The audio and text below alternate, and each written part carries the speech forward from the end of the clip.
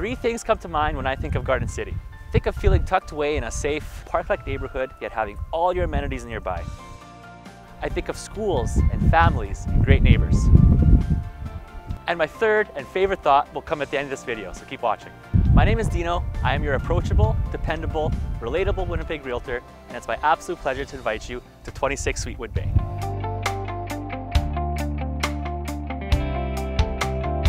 So a few things that I really like about this home. First of all, it's accessible, making it a true forever home. For the right person, if you move in here, make it your own, you might actually never leave. And the basement is a real treat, so wait to see that. Let's go. So we have your classic 60s bungalow, almost 1,300 square feet of living space. Your roof has been updated, your windows have been updated, your furnace has been updated, leaving only minor cosmetics for you to worry about. Don't let anybody tell you this kitchen needs to go, okay? So this is real wood.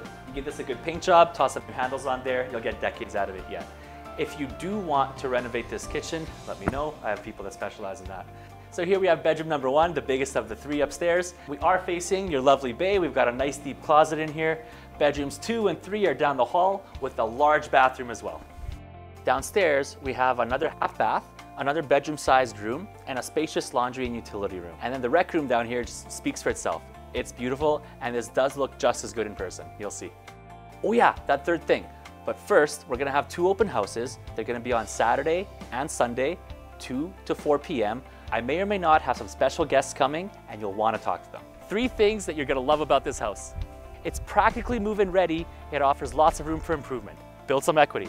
This is a true forever home because it's accessible. If you play your cards right, you might actually stay here forever. Three, location. Nothing beats a bungalow on a quiet bay in Garden City.